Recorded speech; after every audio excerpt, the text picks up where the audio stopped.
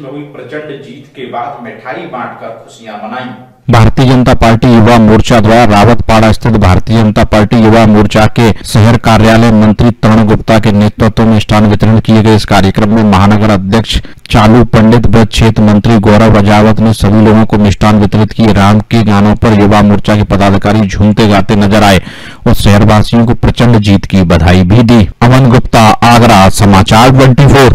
जीत का जैसे यहाँ मनाया जा रहा है मिष्ठान वितरण नहीं किया जा रहा है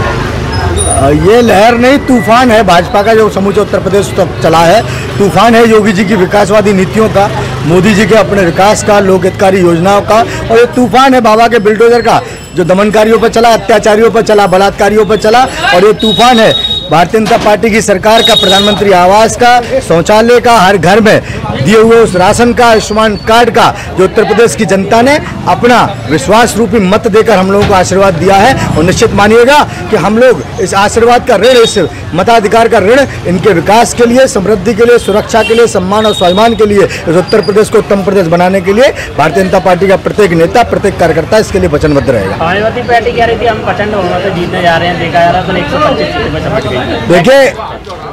इस राजनीति में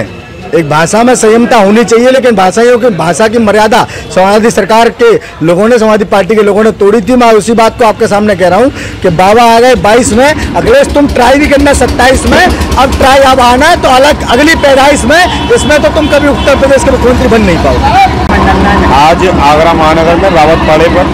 हमारे भारतीय जनता युवा मोर्चा के तरुण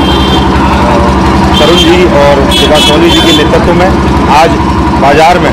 स्वागत हो रहा है और स्वागत के साथ साथ बाज़ार के लोग और जनता हमें बधाई दे रही है। निश्चित तौर पर लाखों करोड़ों कार्यकर्ताओं की मेहनत और जनता का आशीर्वाद भारतीय जनता पार्टी को मिला है। भारतीय जनता पार्टी अपने संकल्प पत्र पर के साथ साथ हम लोगों ने सबका साथ, सबका विकास, सबके विश्वास के साथ जो काम किया है जन लोक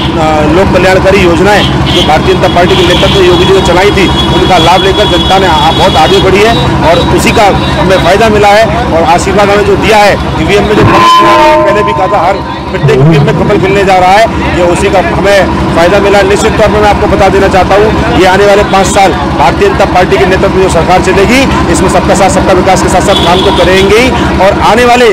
20 सालों तक भारतीय जनता पार्टी इस यूपी में रहने वाली है, मैं आपको